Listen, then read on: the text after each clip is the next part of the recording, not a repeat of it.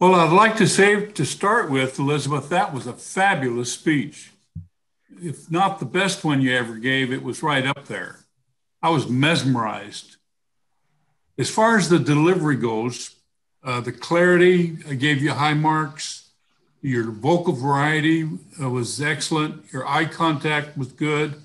Gestures, uh, the audience awareness. Uh, if everybody was like me, we were just sitting on the edge of our seat listening to just uh, one point after another that you delivered. It was really well organized and excellent speech. Uh, you seemed very comfortable. Uh, you must have practiced that a lot because it sure came off smooth, smoothly. The uh, I'm sure everybody was as interested in the subject as I was and uh, it was well supported with a lot of facts. But getting over to the objective of the speech, during the completion of this project, the member is supposed to evaluate your time management skills. And I'm not sure uh, if I can make a, a, a, good correlation there between uh, your speech and time management other than the fact that you had an awful lot of organization, which uh, definitely uh, takes time management.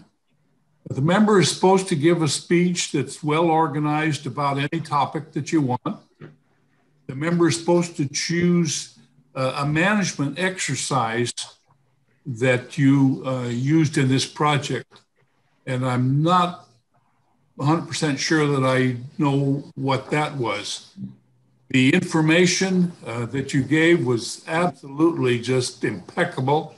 Uh, it couldn't have been a more interesting subject.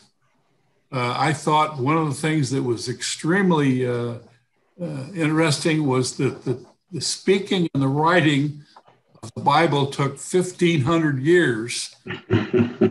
Talk about time management. That, uh, that's the ultimate and I'm not sure where my uh,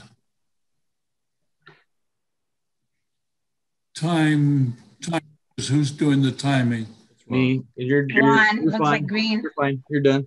I'm in. I'm I'm done. Yep.